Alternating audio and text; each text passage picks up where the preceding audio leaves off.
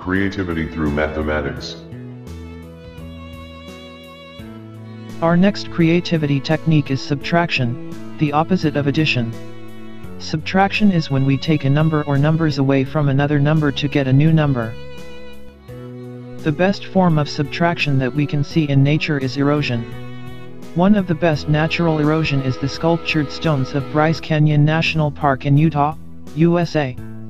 Bryce Canyon is known for its geological structures called hoodoos, formed by frost weathering and stream erosion of the river and lake bed sedimentary rock. The red, orange, and white colors of the rocks provide spectacular views. In mathematics, we can alter the result of subtraction by changing the value of subtrahends or minuends. Minuend minus subtrahend, equals difference. Just like in mathematics, we can do the same thing with colors. We can alter the shade of the secondary color by subtracting one of the primary colors. Look at these pieces of creative art again.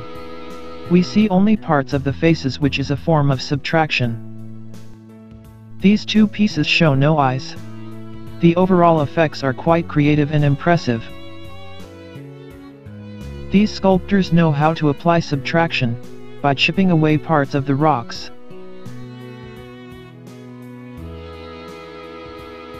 Lao Tzu, a Chinese philosopher, said, To attain knowledge, add things every day. To attain wisdom, remove things every day. We will conclude that a lot of the creative process, involves the process of subtraction, or taking away parts of the whole. See you next time.